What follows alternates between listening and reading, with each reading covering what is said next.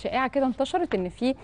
آه، فيروس آه، بيصيب أو أصاب الدواجن في مصر وفيروس مجهول وكلام كده انتشر على الفيسبوك. وده اللي نفته الدكتورة منى محرز نائب وزير الزراعة واستصلاح الأراضي للثروة الحيوانية والسمكية والداجنه نفت تماما ما تم نشره بأحد الصحف الأسبوعية امبارح حول تفشي فيروس مجهول بيهدد مزارع الدواجن بمحافظة المنوفية. وأشارت آه، منى مح- محرز إلى إنه تم إرسال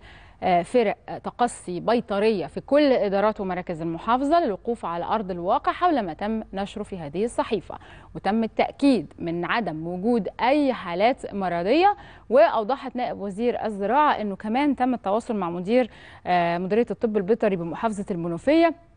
وكذلك آه، رئيس الإدارة المركزية للطب الوقائي بالهيئة العامة للخدمات البيطرية وأكدوا أن مفيش أي شكاوى أو بلاغات إلى الطب البيطري سواء كانت من آه، مزارع أو من تربية منزلية ومن جهته الحقيقة أكد الدكتور عز الدين أبو ستيت وزير الزراعة واستصلاح الأراضي أن الوزارة لديها المعمل المرجعي للرقابة البيطرية على الإنتاج الدجيني وفروعه بالمحافظات المختلفة وهي معامل معتمدة دوليا وحصل على شهادة آيزو